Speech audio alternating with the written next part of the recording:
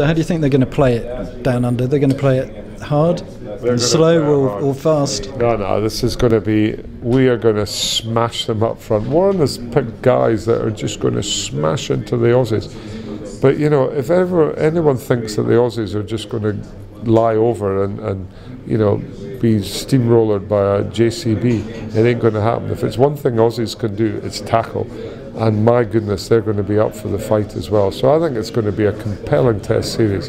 It's going to come down to the wire, and fingers crossed the Lions are going to do it to the death.